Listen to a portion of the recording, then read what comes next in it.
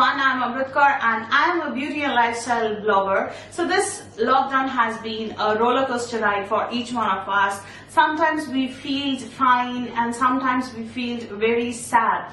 But how can we just stay positive? It is necessary that we should come up with a routine that we should follow at least five days a week.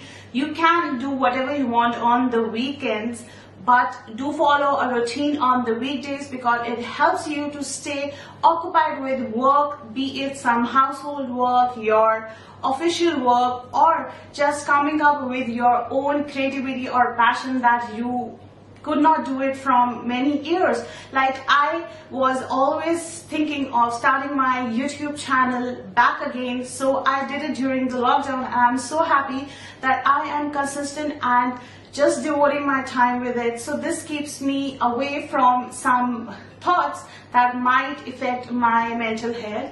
So invest in some good hobby or a passion that you had left and stay positive during this lockdown. Stay safe and stay happy always.